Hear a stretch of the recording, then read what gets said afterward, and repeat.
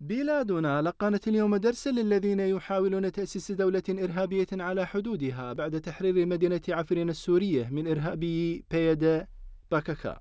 بهذه الكلمات بدأ الرئيس التركي رجب طيب أردوغان كلمته في مراسم وضع أسس أبراج جسر تشانكل شمال غربي تركيا احتفالا بدخول الجيش السوري الحر مدينة عفرين بإسناد مباشر من القوات التركية.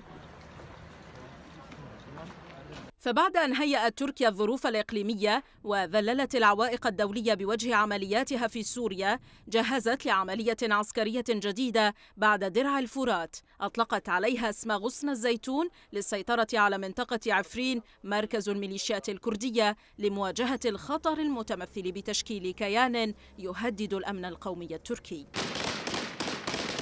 العمليات البرية انطلقت بشكل فعلي في العشرين من كانون الثاني الماضي بعد تمهيد مدفعي وغارات جوية مكثفة انطلقت بعدها بقوة العمليات من ثلاثة محاور على الحدود السورية التركية من فصائل من الجيش السوري الحر يصل تعدادها إلى 25 ألف مقاتل مدعومة بنخبة من القوات التركية الخاصة.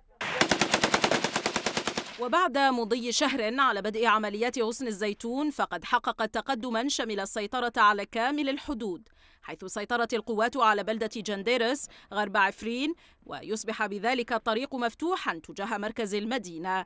لتتسارع بعدها وتيرة المعارك إلى حين إعلان السيطرة التامة على مركز عفرين في الثامن عشر من آذار. بعد انتهاء مسألة عفرين ترجح الظروف والتصريحات التركية توجه الجيش التركي إلى منبج للقضاء على آخر كيان للميليشيات الكردية غربي نهر الفرات.